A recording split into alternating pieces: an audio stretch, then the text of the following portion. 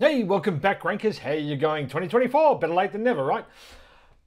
A lot's been happening over the last year with e-commerce, search, and of course AI.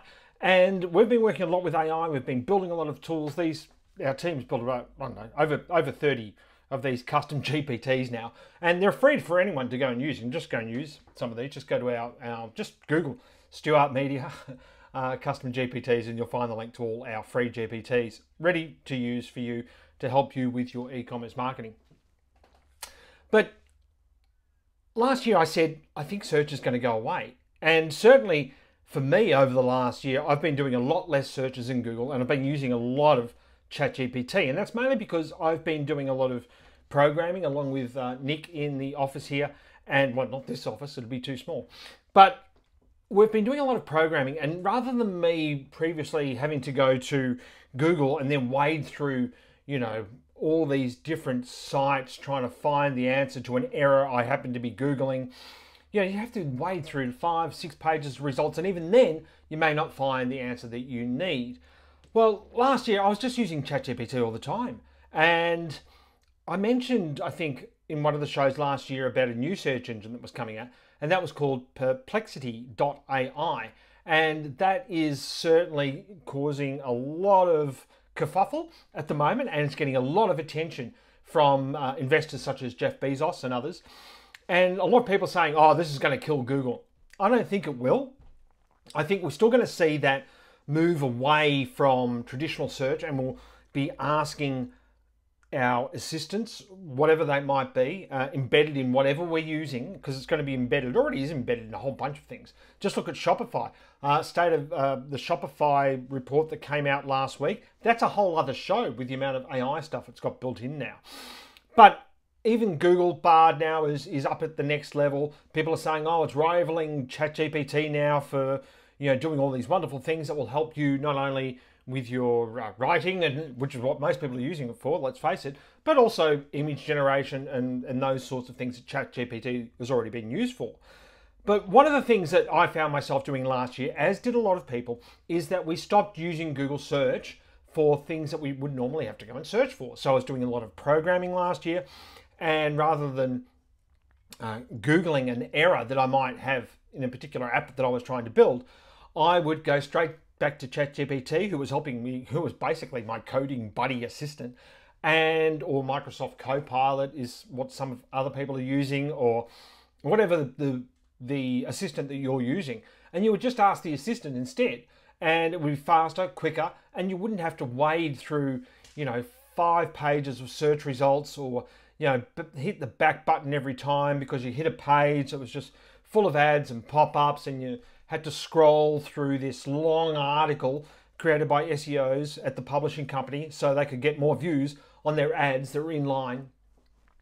Uh, all of those things are starting to go away now. And one of the ones that uh, I did touch on last year was perplexity.ai. I started using it and I thought this is a pretty cool tool. Now, a lot of people have come out recently and said, ah, it's a, it's a Google killer. I don't think it is. and there's a number of reasons for that as you know, for the last probably five, six years, we've been observing that the organic search results are great for shoppers and great for people selling stuff. But if you're looking for informational things, they're not as good as what they used to be.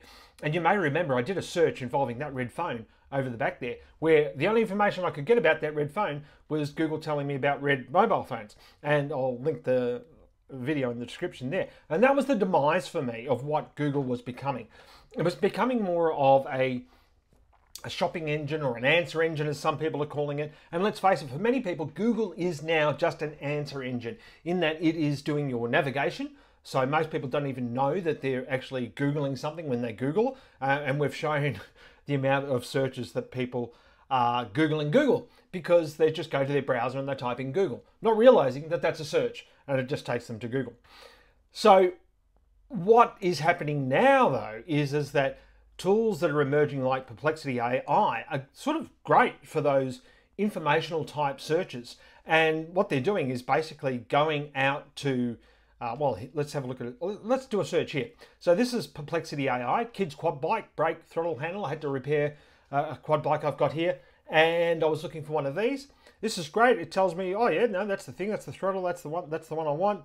Uh, fantastic. Yep, no ads, really clean. And then I click on the first result, and it is currently unavailable, out of stock. Not a great experience.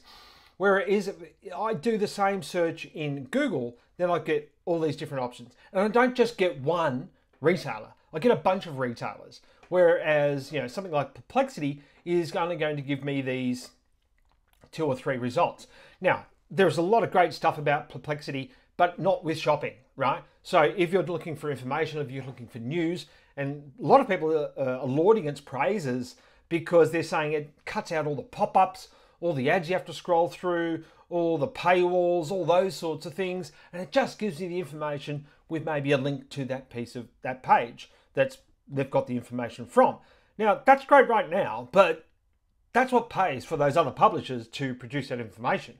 And let's face it, that's what New York Times is complaining about right now in a major court case against ChatGPT because it says it's trained ChatGPT on all of its stolen data. Well, Google's been doing that for years with zero click results. And we know what's important for users is to get the answer quickly. That's why Google has zero click results. And over the years, Google has moved away from uh, surfacing organic results for in exchange for ads, in exchange for Google business profiles, in exchange for rich snippets, which are essentially zero click results, and also things like people also ask, which are also essentially zero click results. So Google recognizes that this information that other publishers have out there is valuable and they're trying to give it to its users as quickly as possible.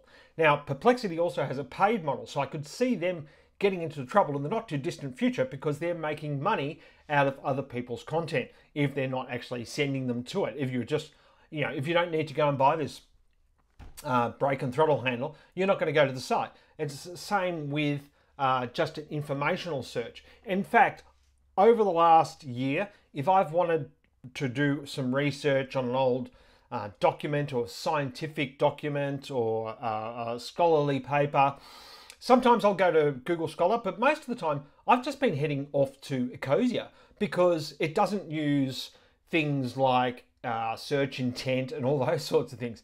It's just giving me the answers that I want. It's just basic directory stuff, right? Whereas Google tries to look at all this entity information rather than the keywords themselves, trying to guess what you want, which is what it was doing in that search that I was doing for that red payphone back there. Now, so what's going to happen in the future? Well, these results are much better for shoppers, right?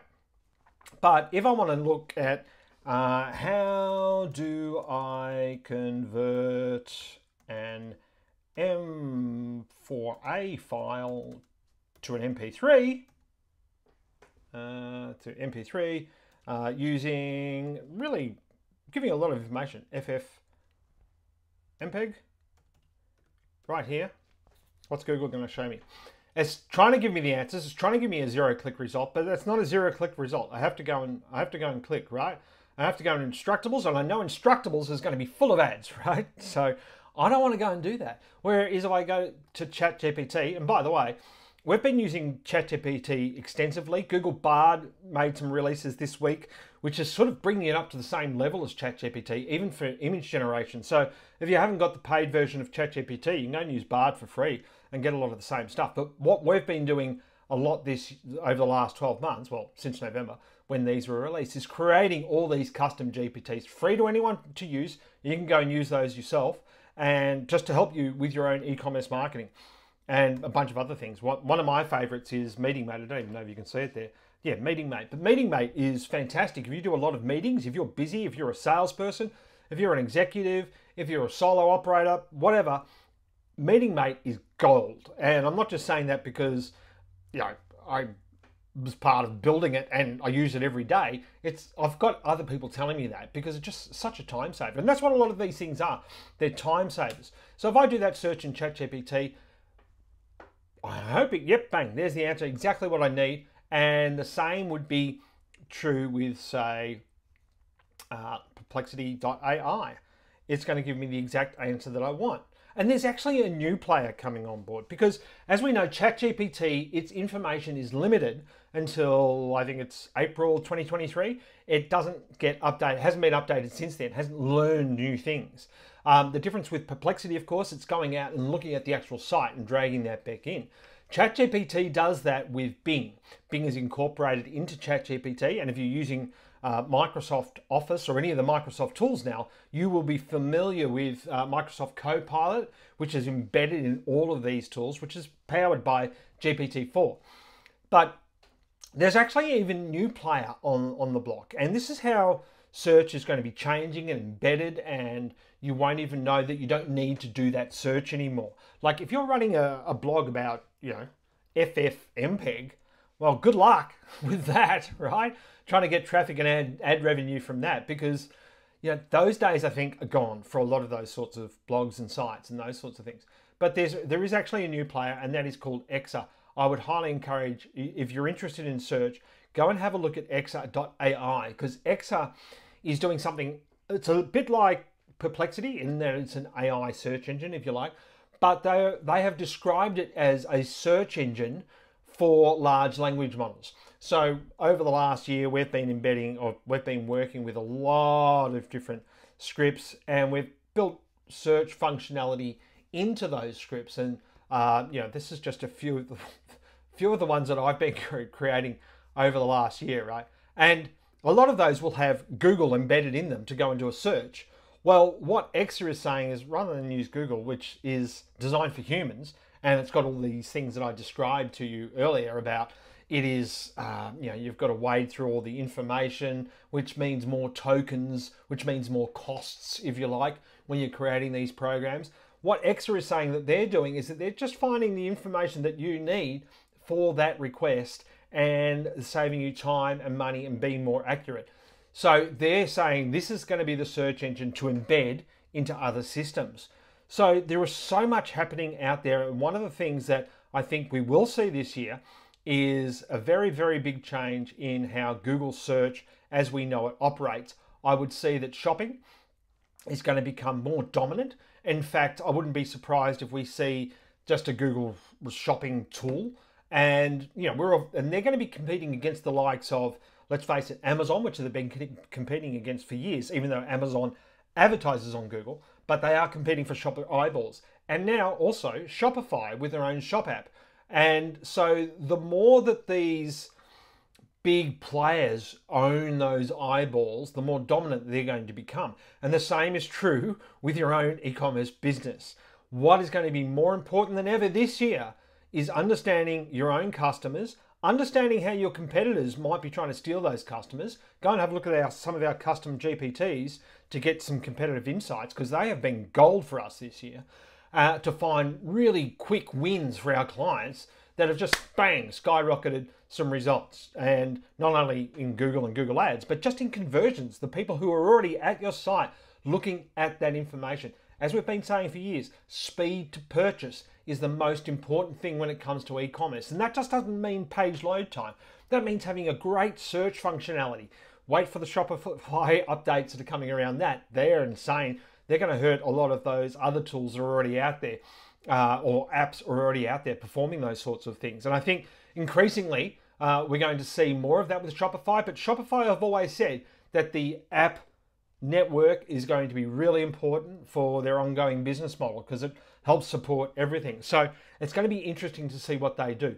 But shopping is, I think, the thing that most of these AI players or most of the AI commentators are missing out on when they're talking about, oh, isn't this great that we're using these search engines that don't have ads? A lot of people like ads, especially in Google if they're targeted. I certainly do. The ones I don't like are the remarketing ads. No one likes remarketing ads. And to be perfectly honest, I haven't seen a good use case yet where remarketing works as you would expect. Remarketing works really, really well in email. So build those email lists, although we're not that far away from uh, Google, Microsoft, and others uh, being the curator of your emails as well. And, and Klaviyo will be talking to those assistants. But the most important thing is having that direct connection with your customers. We may even see a swing back to, you know, old school in your in your letterbox paper being sent out to customers because it's more personal, and we might see a lot more of that, especially at a local level. I think. And for instance, I've been going to um, a few shops over the break, and you know they want to sign me up to their loyalty programs and everything else. But as soon as I get that first SMS, I'm like, nah, stop, because I do not want SMSs as marketing. I never used to like having advertising material in my letterbox either, but given the way the world's going, I think we may even see that re-emerge. I'd love to know what you think. Hopefully that's helpful. Sorry that's a bit of a mouthful. I'd love to hear your thoughts. Please like, share, and subscribe if you're on YouTube. And if you're watching this anywhere else on LinkedIn or on X, please comment. And uh, if you have any questions or opinions, I'd love to hear, your feedback because this really is uh, a brave new world. Hopefully not. Hopefully not the one that Aldous Huxley uh, presented to us.